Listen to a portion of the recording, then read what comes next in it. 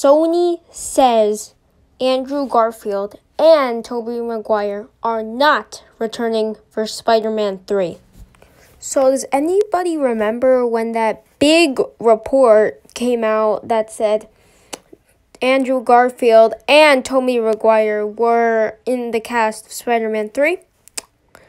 They were wrong, obviously, because uh, Sony says no. And the article came from FandomWire.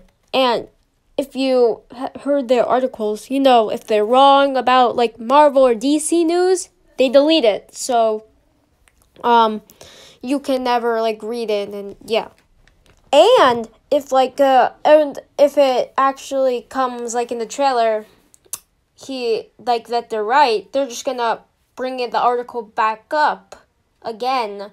So like it's gonna be like win or a win-win either way if they're right.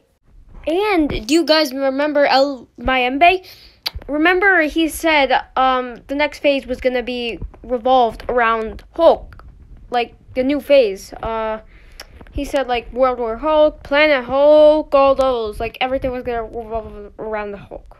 But they were wrong. E- And yeah. And I hope everybody knows that uh, a thing isn't confirmed unless it's um Deadline, Variety, or the Hollywood Reporter, or the studio themselves, because those are trusted trusted things. So the question is, is Tobey Maguire and Andrew Garfield uh, returning for Spider-Man Three? No, because Sony said it. They openly said it, which is kind of weird, even though because they never openly say anything like to a rumor. At least that's what I've heard. So let me know what you guys think in the comments. Um, yeah.